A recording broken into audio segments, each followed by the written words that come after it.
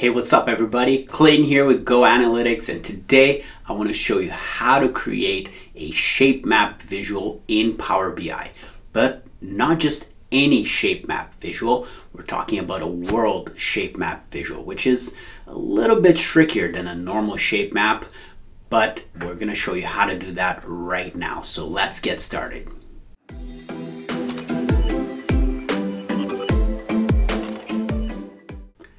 Hey, welcome to our YouTube channel. If you're finding us for the first time, be sure to hit that subscribe button and turn on the notifications to stay up to date on all of our latest videos. All right, before we start today's video, we wanted to talk about something that's really exciting to us. For the first time ever this year, we're hosting a dashboard in a day workshop. So this is going to be a live online event taking place on June 3rd and you don't want to miss out. This is a great opportunity to build a portfolio dashboard in one day. So we're going to take you all the way from connecting to data and preparing that data for analysis, data modeling, DAX measures, data visualization best practices all in one day. So you don't want to miss that out. So we're going to be putting the link to the registration in the description. Uh, so be sure to check that out. And uh, the last thing is we have an early bird pricing right now up until April 30th, so you might want to take advantage of that. So, with all that in mind, let's get started with today's video. All right, so in today's video, we're talking about how to create a world shape map. So the shape map is a visual in Power BI that is still in preview mode. So you're going to have to check that out first. Uh, but on top of that, it does have an additional complication when you're trying to create a world map. So some of the maps are already built in, like the United States, Canada, Brazil, those are in there already. But if you're looking for a world map, it is not there and you're going to need to use a custom shape map. So with all that talking, let's head on over to my laptop and I'll show you how to do all of that. All right, here we are in Power BI Desktop. And if you're looking to create a visual that looks something like this, which is a world map in a shape style of a map uh, that visualizes some data across the world, then I'll show you how to do that right now. The first thing you need to do is to enable the shape map visual if you haven't done this already. So this is a preview feature. So if you haven't done this already, you're going to go to the file here and select options and options here. Then you'll want to navigate down to the preview features section here and make sure that your shape map visual is checked off. So this will enable you to select the shape map visual from Power BI. So once you do this and click OK, then you're going to need to restart your instance of Power BI Desktop before that change takes effect. All right, so once you've restarted your Power BI Desktop, then you'll be able to see the shape map visual. So it'll show up right next to the filled map. So this one right here would be your shape map visual. So I'm going to open a new page here just to show you what that looks like. So we can go ahead and bring in our shape map. And I'll expand it the entire size of the page here. So as you can see, we have a spot here to put in our location and the measure that we want to use for color saturation as well as any type of legend that we might want to apply here. So in my data set here, I have a country column that I want to add in. So here's what happens. When I first throw that in, it defaults to the map of the United States. And let, let's go into the formatting options here and we'll see why that happens. So under map settings here, you'll notice that the map type that's been selected is USA states. If I click uh, the down arrow here to see which maps I can use, you'll notice that I can uh, use the filled states for uh, Australia, for Austria, Brazil, Canada, all of these countries, but not a world map.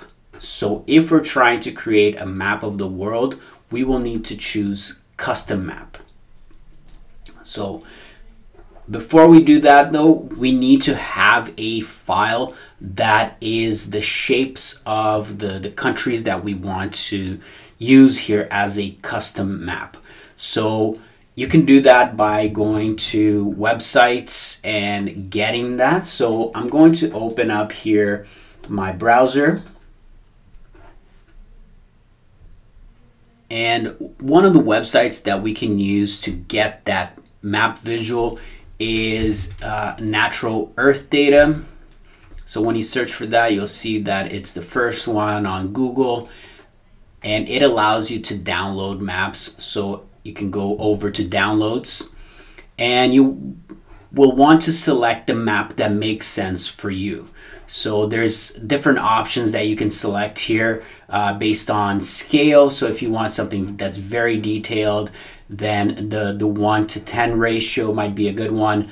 Uh, for our purposes here, we can just download this 1 to 50 and I'll select a cultural map. There's different uh, styles here. And then what we want to do is just hit download countries. When we do that, you'll notice that it opened a, it downloaded a zip file with all of the mapping files in here. And this is great, uh, but we still have one more step, which is to convert these files into a topo JSON file that can be read in Power BI.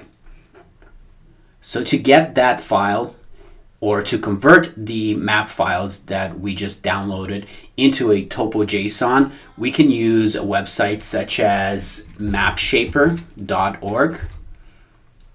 And you'll notice here that it allows you to drop, paste, or select files to import, and then you can convert it to different shape files.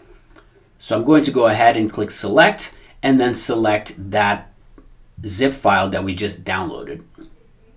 So here's that file that I just downloaded. And once I upload that entire folder, you'll notice that our map has been created here, which does provide quite a enough detail for what we're trying to do. So once we're done with that, all we have to do is go to export and select the file format that we want. So in our case here, we want a topo JSON so we can hit export and again that's going to go into my downloads folder. So now we're ready to use that file in Power BI. So let's head back over to Power BI. So back here in Power BI, now we can select custom map from our map type.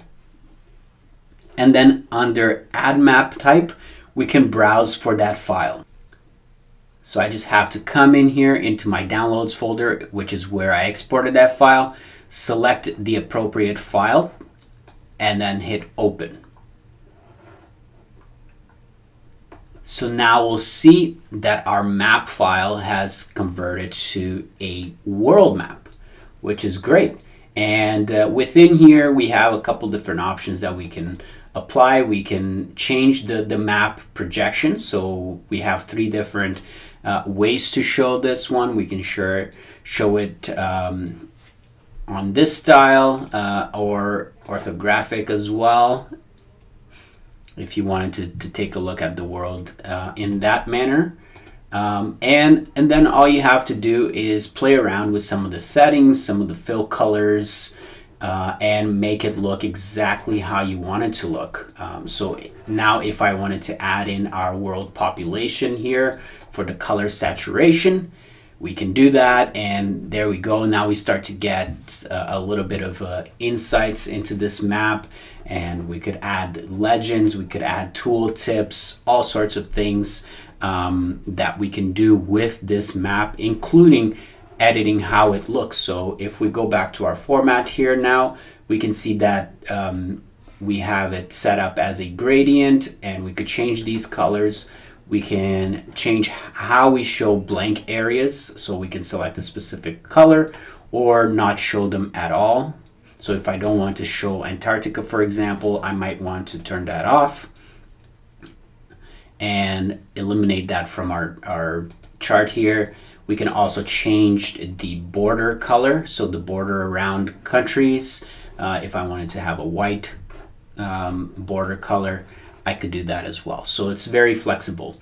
So all you have to remember is that you have to turn it on from the features, that's from the preview features, and then you have to download your world map from a website such as uh, Natural Earth Data, for example, and then convert that file into a topo JSON, which can be imported into Power BI. And there you have it. Now you have a world shape map in Power BI. So that's it. That's how you can create a world shape map in Power BI. Hope you liked this video. If you did, be sure to hit that like button and we'll see you in the next video.